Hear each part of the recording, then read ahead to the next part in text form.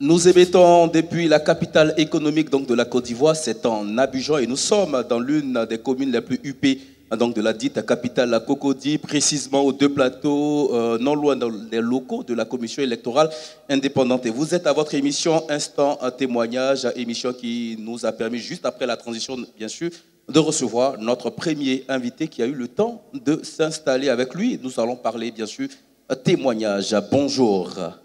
Bonjour, monsieur Massia.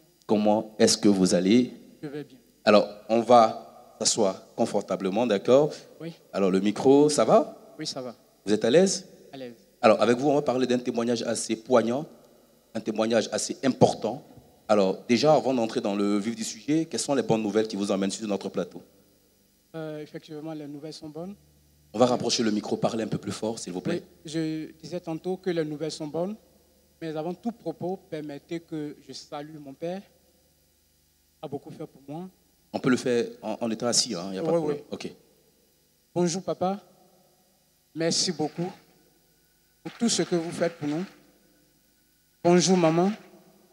Je voudrais encore vous dire merci. Vraiment, je suis fier de vous.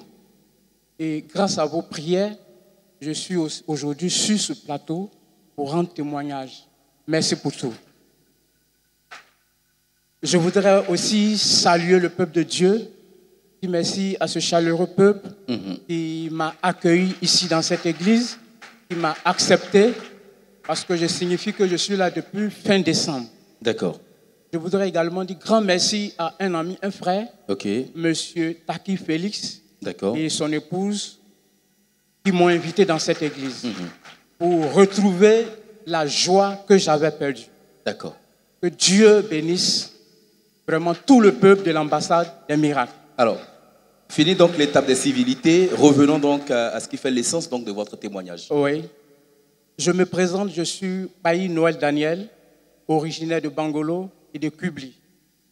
Depuis 2010, je- j'étais pasteur dans une église que je vais le nom. Et j'ai servi le Seigneur dans cette église jusqu'en 2019. Et à partir de 2017, le Seigneur va me dire de quitter l'église pour totalement et me rendre à Yopougon. Et à Yopougon, il va me donner des instructions. Mais mon amour pour l'homme de Dieu, pour l'Église, m'a mené à ne pas partir. J'ai adressé une prière au Seigneur. Seigneur, s'il te plaît, laisse-moi te servir auprès de ton serviteur. En 2018, le Seigneur va encore me parler, mais cette fois-ci par ses serviteurs, par des prophètes. Ils vont me trouver à la maison pour me dire, le Seigneur dit, faut quitter l'église. Je veux encore réitérer ma prière, la même. Seigneur, s'il te plaît, laisse-moi te servir auprès de ton serviteur. Et c'est comme ça, les choses sont allées jusqu'en 2019. Je déménage, je viens sur Yopougon, mais je ne quitte pas l'église.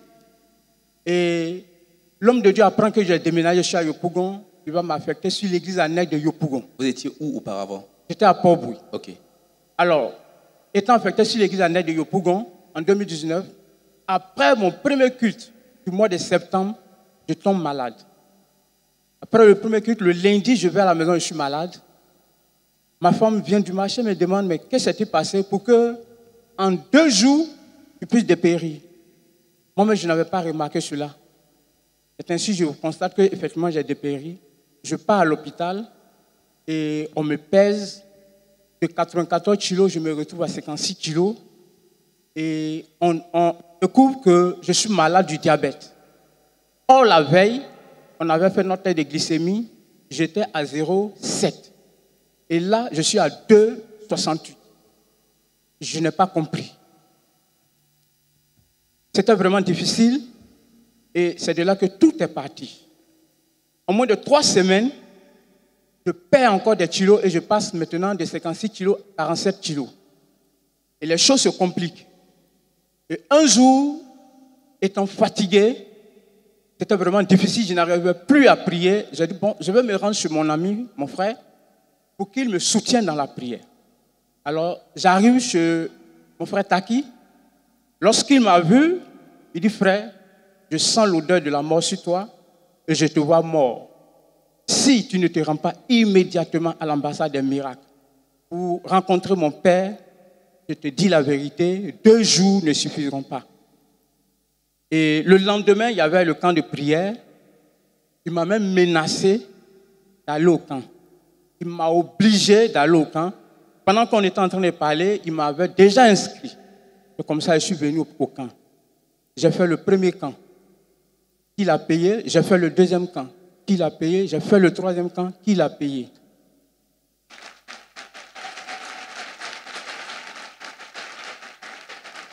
Mais ce n'est pas tout.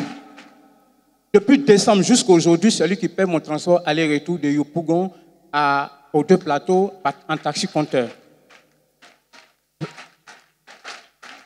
Vraiment, c'est quelqu'un que Dieu a utilisé pour que j'arrive ici, mhm. rencontrer mon Père, pour que j'aie vraiment le salut, parce que je suis un ressuscité. D'accord. Vous savez, ici, tous ceux qui ont été mes voisins, ici à l'église, ont été vraiment dérangés, parce que je, je, sortais à tout moment. J'étais constamment dans les toilettes, excusez-moi du temps, pour aller euh, me soulager. Parce qu'à tout moment, plus de 10 à 15 fois, je sortais. En fait, ce qu'on doit comprendre, c'est que le taux de sucre dans votre sang était élevé. Était élevé. Très élevé. Hein. Très élevé. C'était monté maintenant à 5. Waouh. Avant d'arriver ici, le taux de sucre était monté à 5,99 comme ça. Alors qu'on sait que la norme, c'est de 0,7 à 1,1. 0,6 à 1,1. Pour certains. Voilà. 1,1, oui. Exactement. Et là, vous étiez à 5. Mm-hmm. Waouh. Quand je suis arrivé, beaucoup m'ont remarqué, c'était des os, hein. Mhm. Excusez-moi, mais il faut que je vous dise la vérité, c'était des os. Je n'arrivais pas à marcher, je n'arrivais pas à prier, mhm. je ne dormais même pas. Aujourd'hui, je porte des chaussures fermées mhm. grâce à l'ambassade des miracles, grâce à mon père. Je porte des chaussures fermées. Sinon, je venais ici en sandales. Mes pieds, parce que quand le diabète passe à une phase de complication, il y a certaines choses qui agissent. Là, moi, j'étais atteint par mes nerfs à l'hôpital, on m'a dit que mes nerfs ont séché. Le sang ne descendait plus dans mes pieds. Alors, mes pieds se tordaient par moments. Et c'est comme si on piquait une aiguille dans mes orteils. Et je n'arrivais pas à dormir la nuit. C'était des pleurs. Je pleurais comme un bébé. Il fallait que ma femme masse mes pieds pour que je sois soulagé. Mais dans la nuit, je peux pisser aussi. Excusez-moi, je peux me soulager du moins plusieurs fois. Mhm. Et tout cela, c'était avant votre arrivée Avant mon arrivée. Ici à l'église ambassadeur oui. Miracle. D'accord. Mais ce qui est intéressant, après le troisième camp, mhm. vraiment, quelque chose de formidable s'est passé.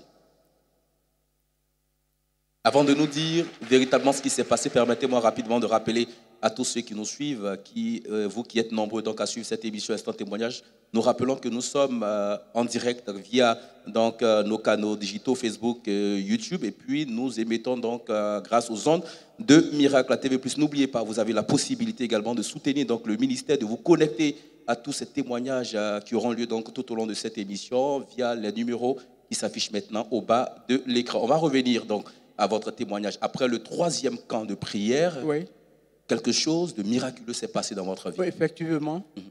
J'étais avec mon frère toujours mhm. et il m'a dit, maintenant, tu as fini le troisième camp, il faut que tu portes les chaussures fermées.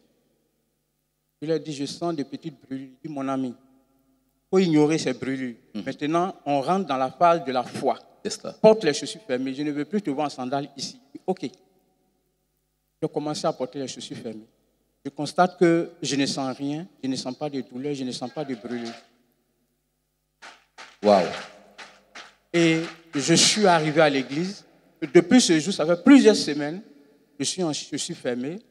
Du matin au soir, dans mes balades, dans mes tournées, je suis en mhm. chaussures fermées. Il n'y a pas de problème. C'est vraiment merveilleux. Alors, je me suis dit, si j'arrive à porter les chaussures fermées, c'est que quelque chose de miraculeux s'est passé dans mon corps. Je vais me rendre à l'hôpital. Je me rends à l'hôpital pour vérifier mon taux de glycémie dans le sang.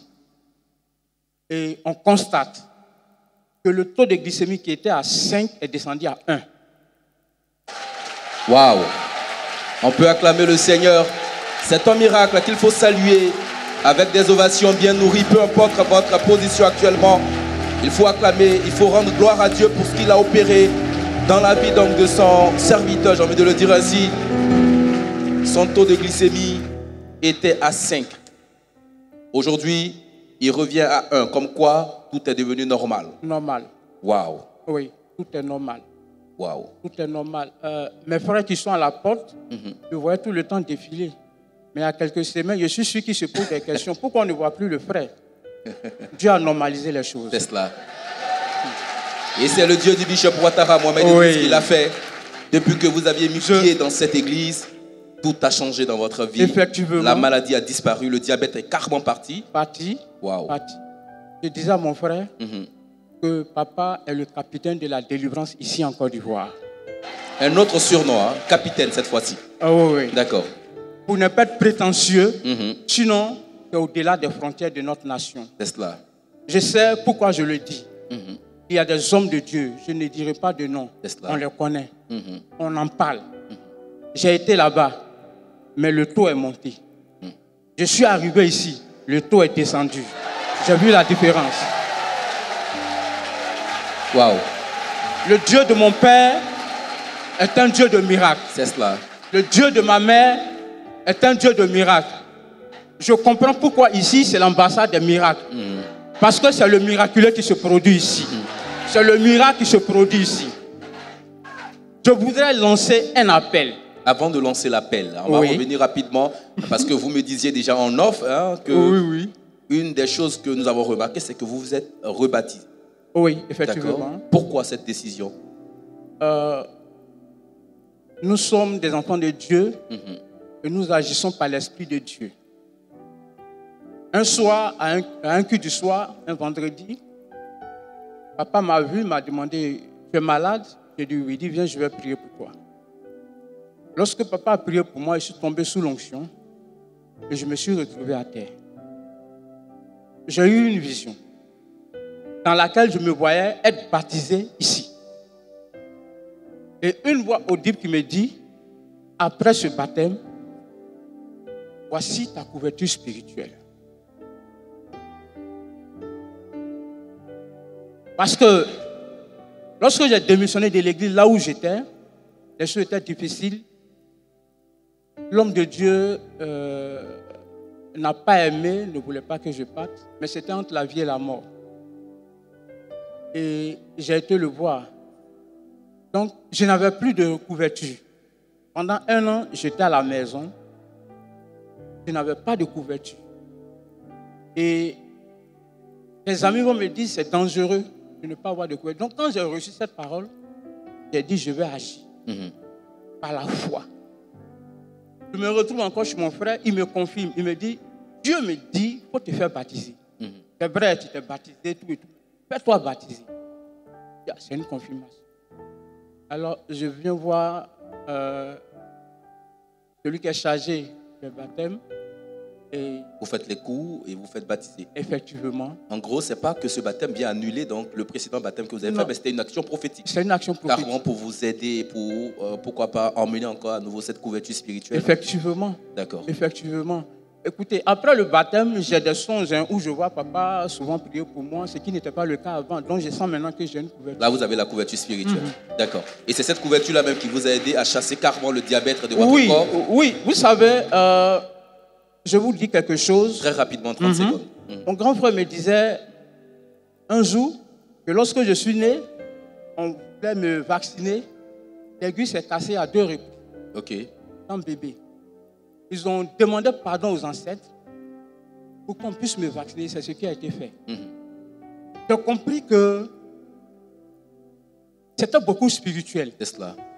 Et celui qui n'a pas le manteau générationnel, comme notre Père le dit, Mhm. ne peut pas chasser ce diabète C'est cela. qui est dans le sang depuis des générations. Mhm. Papa, merci beaucoup. Je suis béni d'être dans cette maison. Amen.